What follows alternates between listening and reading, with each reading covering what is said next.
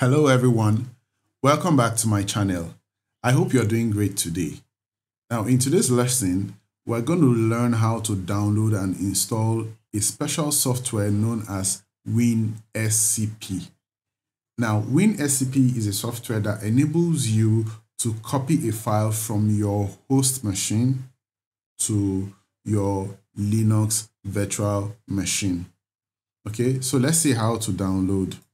Open your browser and then just type WinSCP.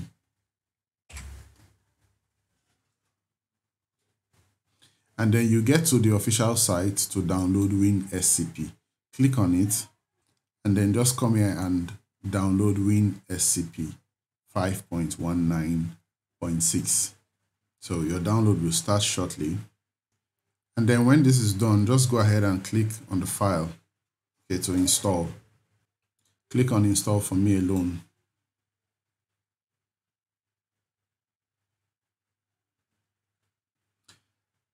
Go through the license agreement and then accept.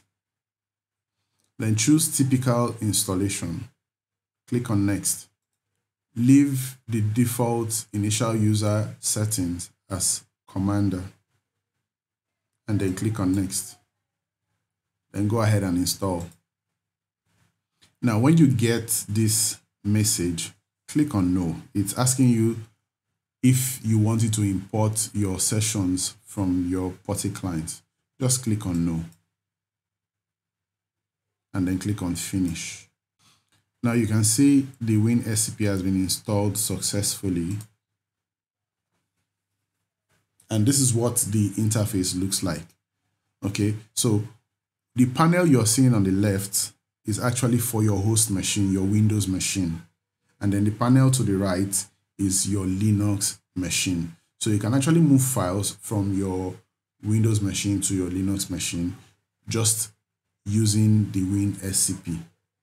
So the same way you imputed your host name or IP address for your PuTTY client is the same way you're going to impute the same details okay for the WinSCP. So once again, I'll come back to my Linux machine and then try to log in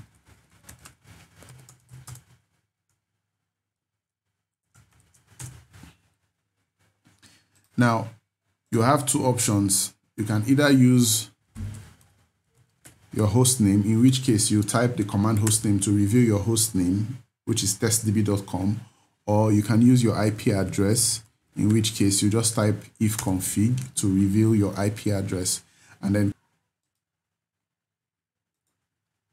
copy your IP address, and then come to WinSCP, paste it, your username should be Oracle and then you type your password. Now you can save this connection so the next time you don't have to type all of this.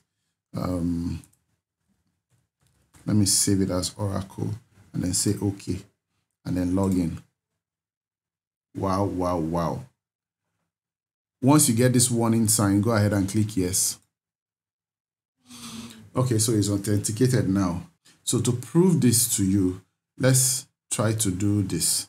So I'll go to my Windows machine and then I'll create a new text file.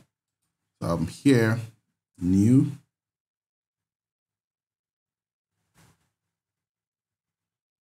Text document. So I'll name it timi.text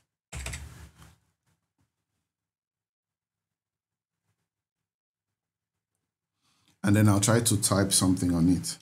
This is just a test file and save.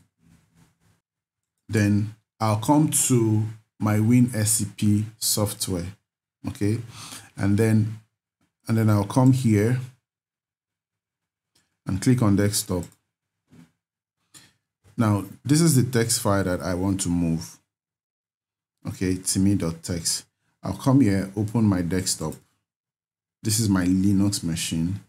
I'll now simply move this from here to my Linux desktop and then click OK. You can see it's here. So if I go to my Linux machine right now and then open my desktop, you'll see the text, timi.txt. If I try to open it using a text editor, you'll see what I type. This is just a test file.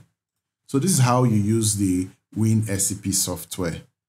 I hope this video was interesting to you. If it was, kindly like it and share it. And don't forget to subscribe and turn on the notification bell icon so you don't miss out whenever I upload a new content.